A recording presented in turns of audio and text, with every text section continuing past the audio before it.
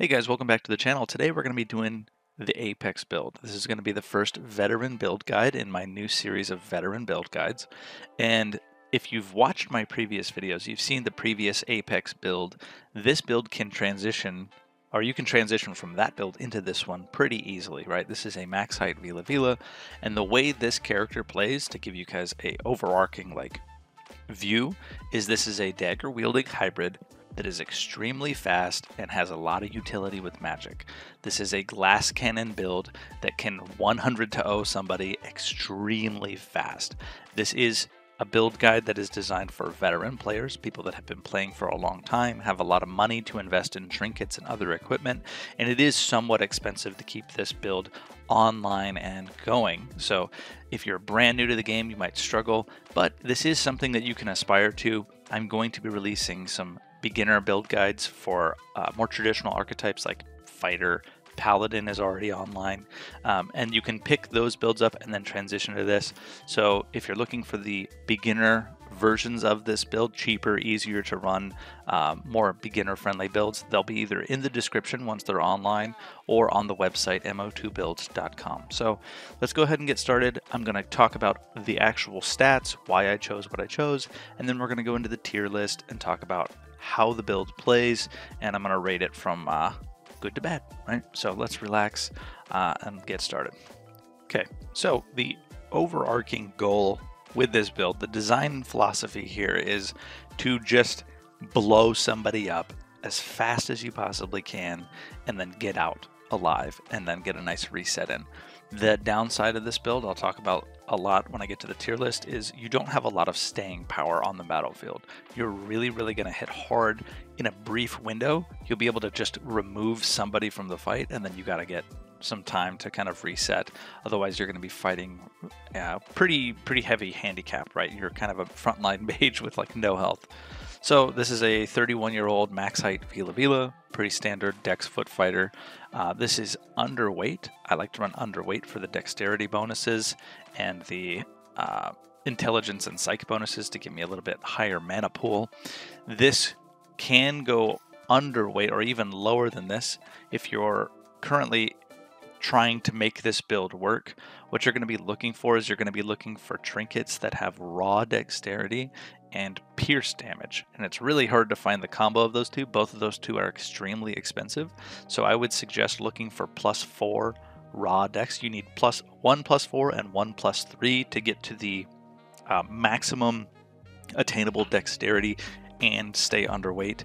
And it's it's confusing. I'm not going to talk about every single little detail, but we've number crunched the crit chance with a dagger and with specific heads like malite heads or Tungsteel heads to kind of figure out where the curve is for crit chance. And the way that the characters were designed, the way that the developers designed the game is there should be a maximum stat that you can reach as a player for a, a race. So we'll say whatever it is, let's say it's 100 constitution for easy numbers, your Veela Veela is designed to go to 100.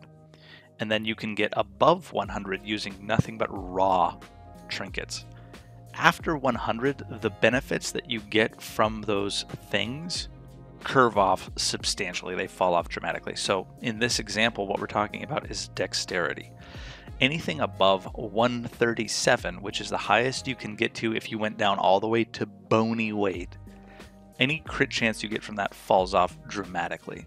But the difference in crit chance when going from 135 to 136 to 137, those jumps in crit chance are dramatic. It's like 4% per stat.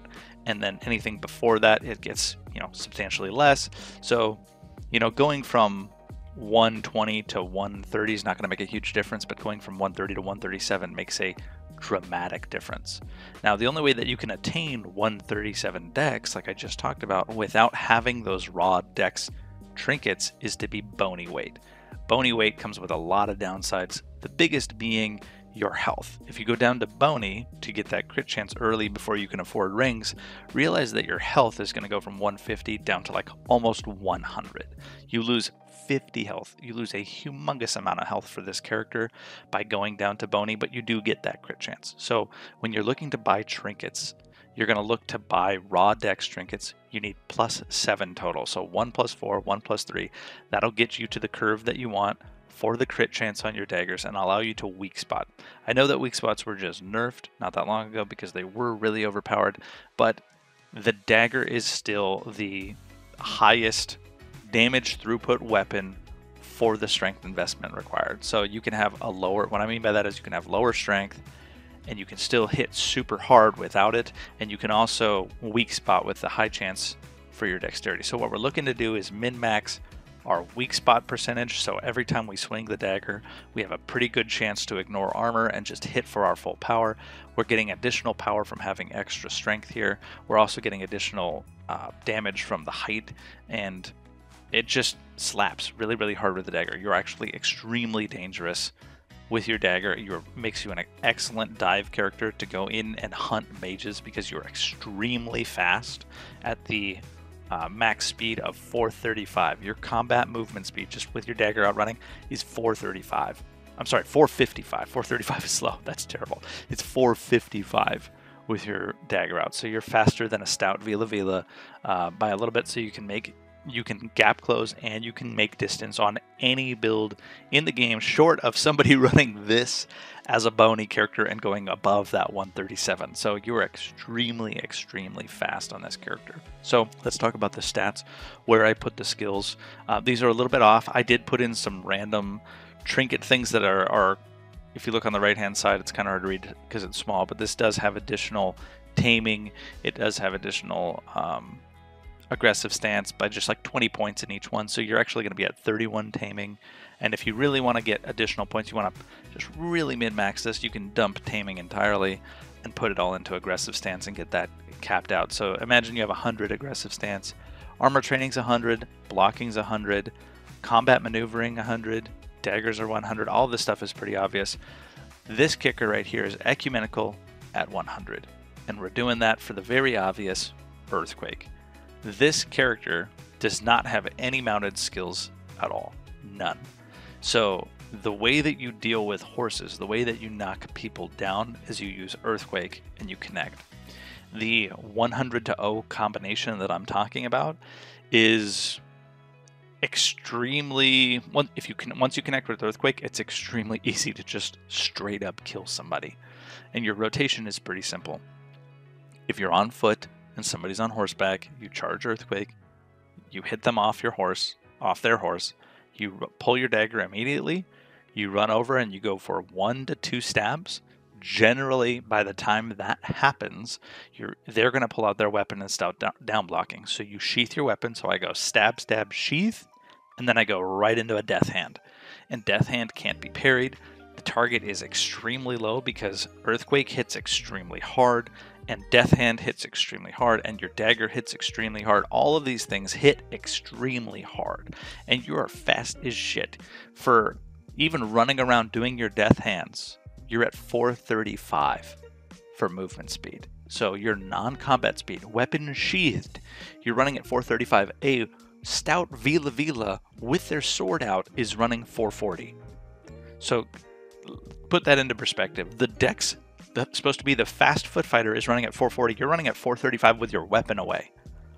Most foot fighters are running around 420 right now, right? So even with your weapon away, you're faster than most most foot fighters, which means when you're death handing, when you're running around casting necromancy death hands, that that chunk they hit as hard as fulminations. For anybody that doesn't realize, the highest DPS like spell in the game is actually Death Hand because it has it hits as hard as Fulminate, but it has a much shorter cast time, and it also heals you for half the damage done. Death Hand is crazy, so you can really really leverage the fact that you're faster than most foot fighters on foot and be casting. So you can sprint and cast and and death hand and kite and do everything that you want on this character but it is a glass cannon. You're running light armor for most of your build you're running uh, only 150 health.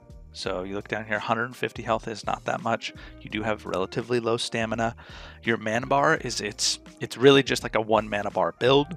But you have 132 mana, which is respectable. It's more than most human hybrids, like the Paladin and stuff like that. The the Death Knights generally have around this much, so you have a, a respectable amount of mana, but it's not going to be anything that allows you to stay in the battlefield, right?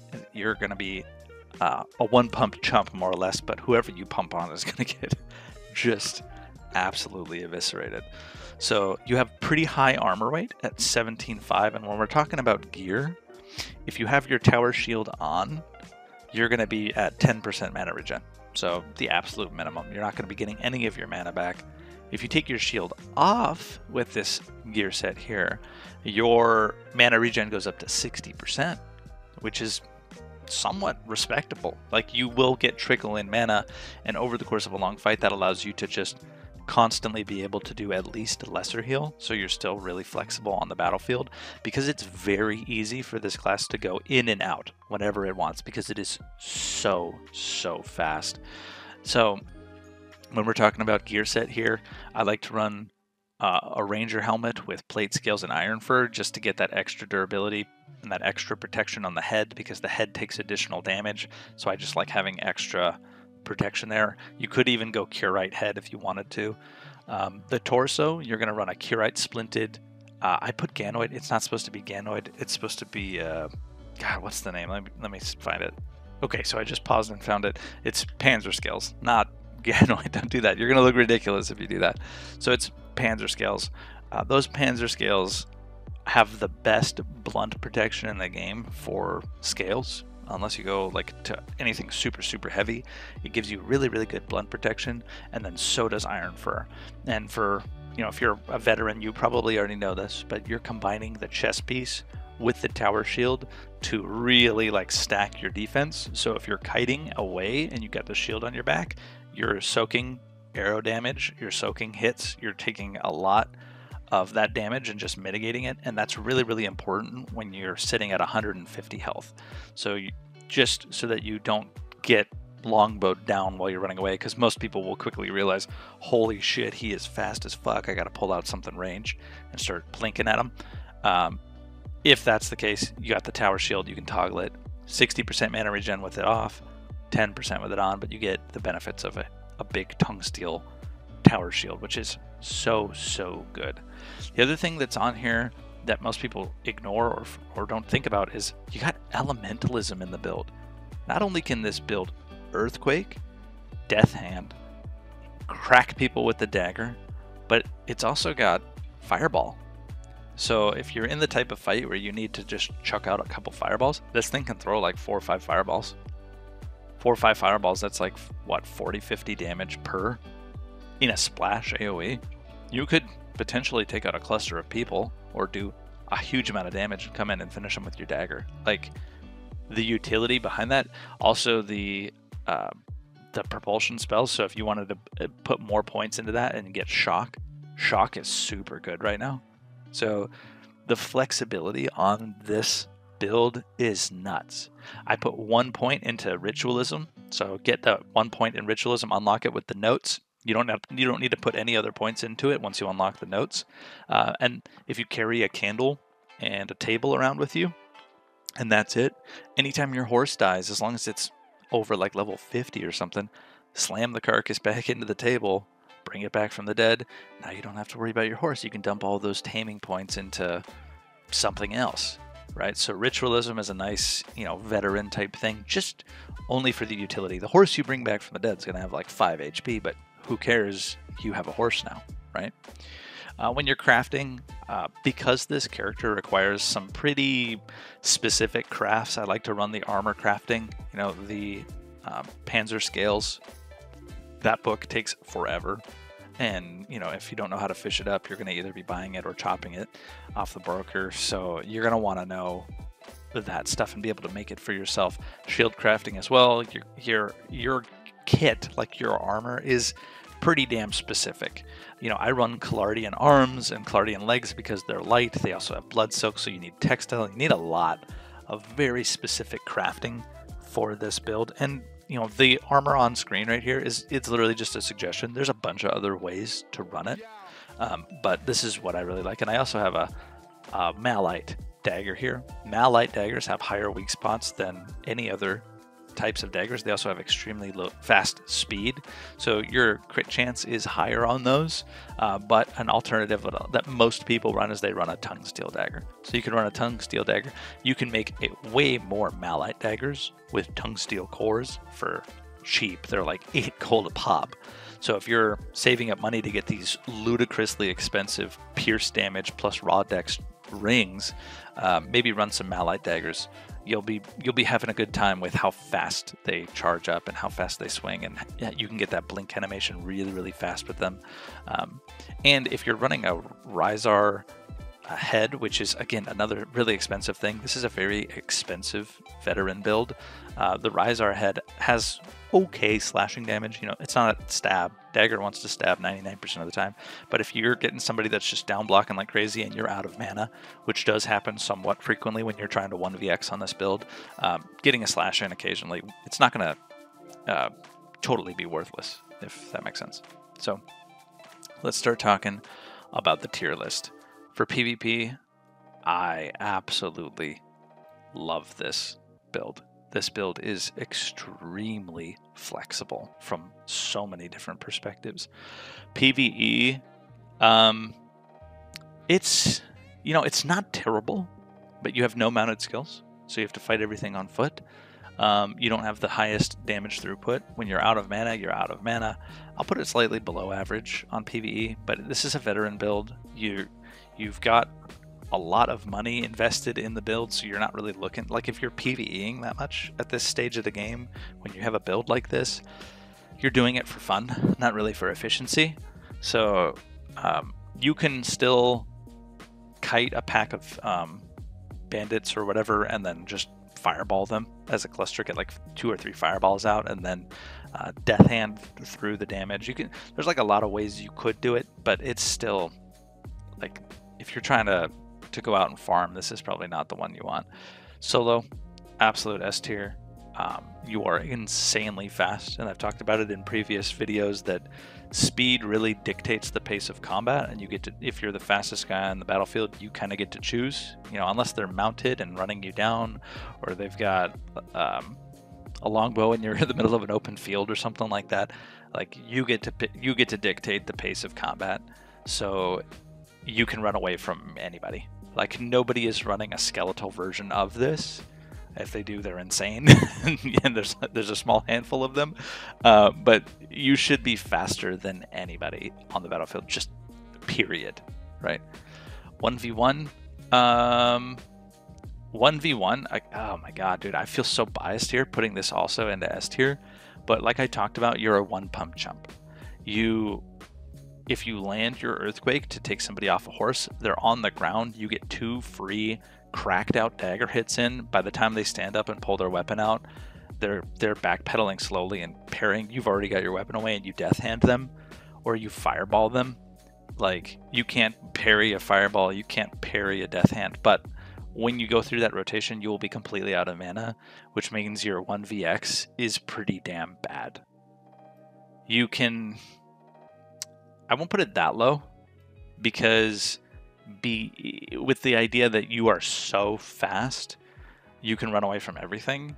Um, your survivability will be really good, but being able to just fully eliminate more than one target is not good. It would take you an eternity. You'd have to run, make a gap, sit, like take your armor off while you're running, get your mana back, and then get a good rotation in on the other targets. If there's more than two, you're totally screwed. Um, if they have a horse and you're in the open world, it's going to be really hard for you to get away. Um, so 1v1, you can absolutely remove someone from the battlefield. 1vx, you're going to struggle with it. Dueling, it's not good. Um, most people frown on magic use during duels. You could probably get some death hands in, and people would think that's okay um, because it's like melee magic type type thing, but yeah, I mean, you're not going to have a good time dueling with this. You're wearing light armor. You could, you know, in that in that thought, you have this light armor here. If you wanted to, you could run a much heavier medium set. You got 17 kgs of armor. This basic kit weighs about seven, right here. The tower shield is what really kicks it tower shield weighs about 10. So you could take that 10 kgs if you're not worried about your mana and bump all this stuff up to medium and put actual Panzer on and stuff like that. Um, you could you could do that and you could make yourself a little bit more durable. But for the sake of dueling, I mean, that seems like a giant waste of time and money. Offense, um, it's um, I'll put it in B tier. You have the flexibility to do a lot of different things. Um, the downside is you're going to have a really tough time dismounting people that just don't let you get close. So if you have a horse, you can gap close. I like to run jungle horses, naked jungle horses at 125, so that I can just second gear or fourth gear, which is about to get removed, but fourth, no, it's not fourth gear. Anyways, I can fourth gear into the target. I know I have the fastest horse in the game. I'm also the fastest player in the game. Uh, and then I can fourth gear straight into the target and earthquake them off. But if I can't connect, or I'm already on foot and they're on horse and I don't have my own mount, uh, and they're just running away from me on horseback, like you struggle in that capacity. And then I take the I take it down from A to B, probably because the staying power on the battlefield is really low. Like you run out of mana, you become a glass cannon, you and then once you blow your load, you're just sitting there. Uh, you're kind of a backline healer. You're a you're a dex mage that's just supporting your team, uh, and then you can occasionally dive people if you're full health uh, and you got your tower shield. I would just pull the tower shield out, run with a dagger, stab a mage a couple times, and then and then you try to escape without getting hit because your defense. Um, your defense is like middle of the road right? This character is the type of character that the mantra is damage mit- damage um, avoided is damaged healed or whatever. I forget the saying exactly, but basically, it, it's better to have never taken the damage at all. So running away is kind of where you would would think that would come into play. If you're running away from the target and they literally cannot connect with you, they can't do damage to you. So that's a form of defense. If you get hit on this and it's not on your shield, you get hit anywhere on your armor, um, barring your chest piece, you're probably going to take a lot of damage. If you get hit by a Thursar with an axe in your arm, it's really going to hurt. It's going to take you down to like 25% of your health. It's going to fuck your shit up. Um, so the defense is pretty low, but damage mitigated. Uh, you also have the utility of Death Hand, uh, that you can use to just heal yourself through raw damage, especially on pets and stuff like that. Um, so it's not the worst thing in the world, but your defense is pretty pretty shit. Team fights, A tier. If you're weighing this against like a dedicated dex mage, they're gonna have a lot more utility and, and staying power on the battlefield from the mana perspective. Um, but this character is never useless in the fight. You have enough mana regeneration with your tower shield off that you can still get good heals out. I mean, this character has what? How much? How much intellect does this thing have? A hundred, right?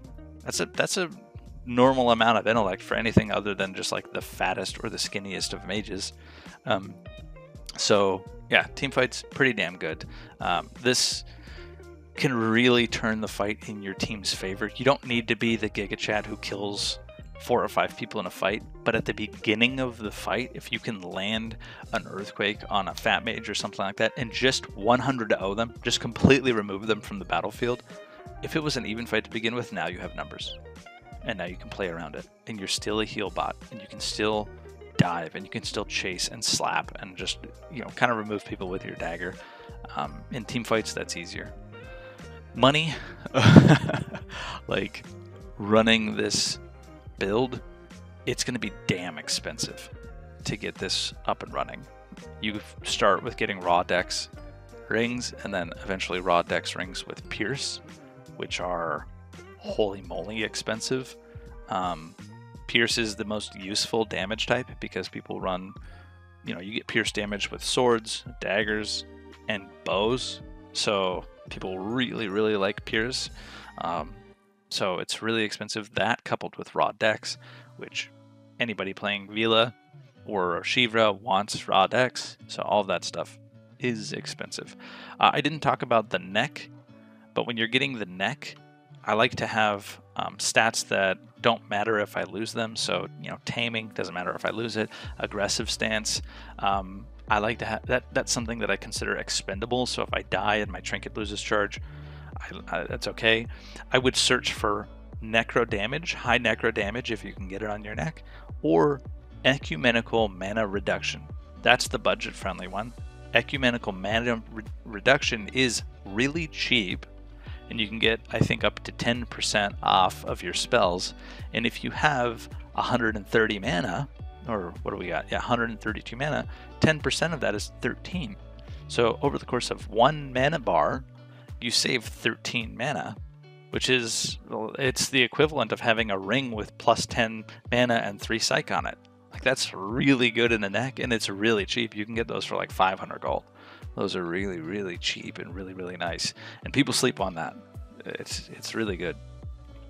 And then the other thing that we want eh, or talk about is utility.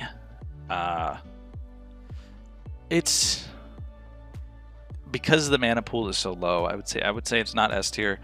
You you get like an obese or like a bulging Shivra. I think their utility is a decent a bit higher. It doesn't have the maxed out uh, elementalism, so you're not going to be making like tornadoes and things like that.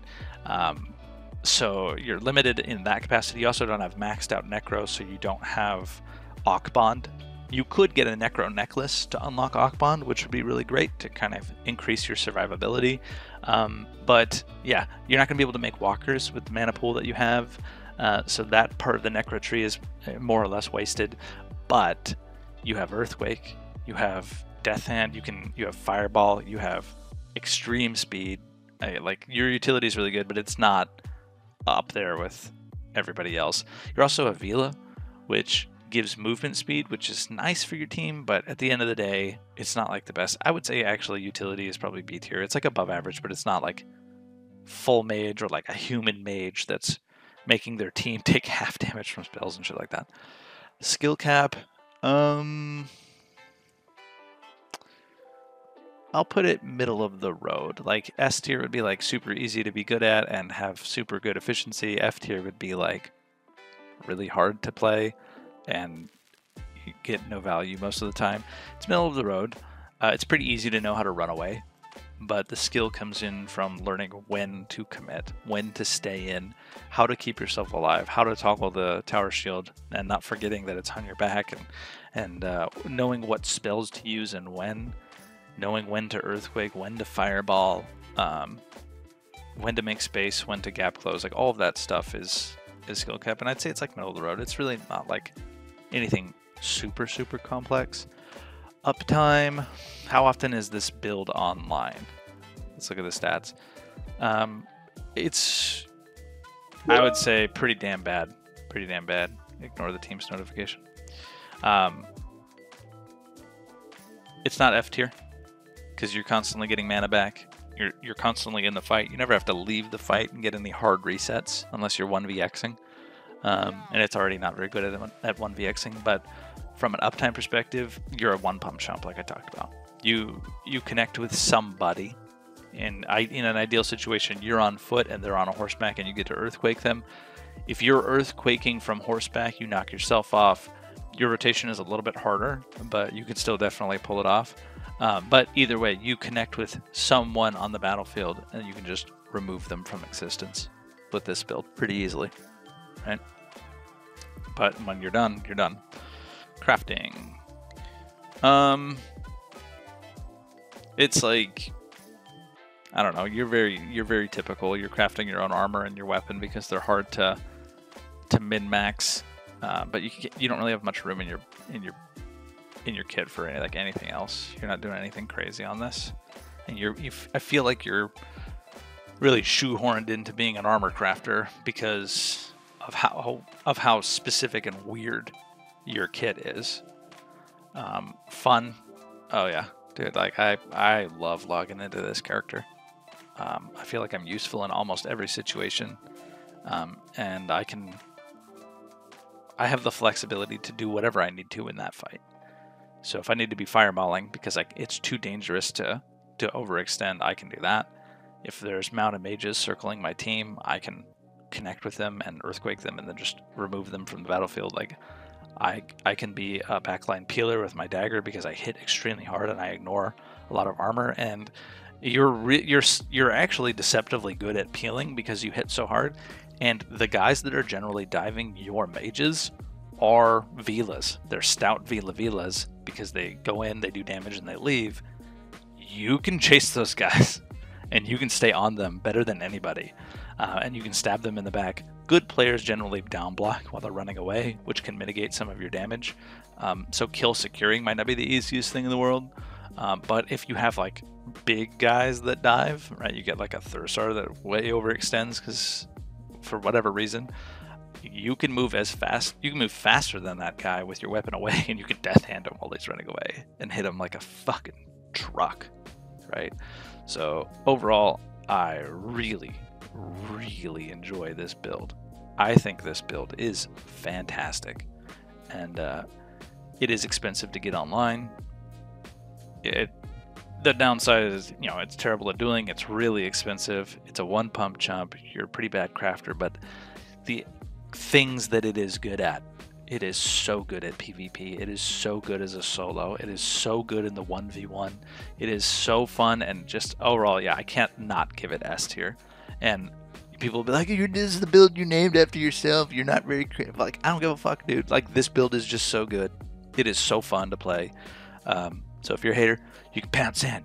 But if you did find this useful, you did like this video, um, and you think that this is going to be fun to play, um, I always appreciate super chats, which is you know donations in the in YouTube. It helps keep my Wi-Fi grow low and allows me to make these videos. Um, but other than that, guys, thank you so much for watching. Have a good rest of your day.